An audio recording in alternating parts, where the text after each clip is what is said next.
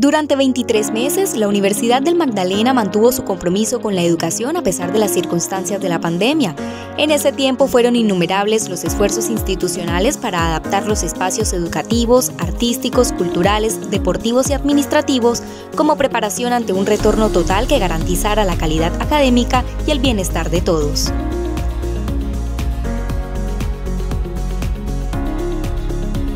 Ha sido un gran esfuerzo por parte de la universidad luego de dos años de, receso retomar las actividades. Ya pues eh, hemos trabajado en el tema de salones, los salones están con sus horarios organizados.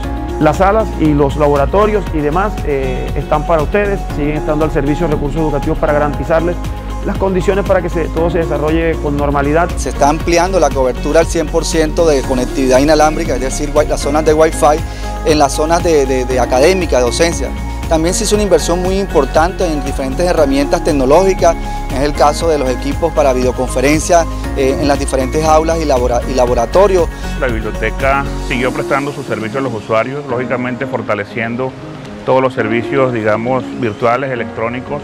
El fortalecimiento que tenemos en las bases de datos electrónicas y libros electrónicos es importante. La universidad invirtió el año pasado cerca de 1.700 millones de pesos para brindarle acceso a los docentes y estudiantes principalmente a libros, a recursos que son importantes para su formación académica. También adquirimos una máquina de desinfección de libros donde recibimos el libro y actualmente se mantiene ese protocolo, se hace un proceso de desinfección a través de una máquina especializada para tal fin.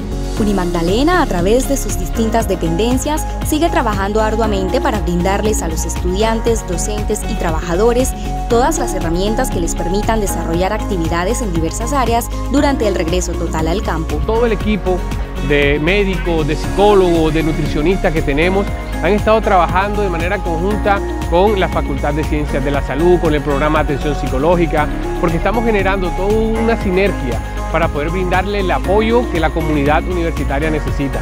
Universidad de Magdalena, aún más incluyente e innovadora.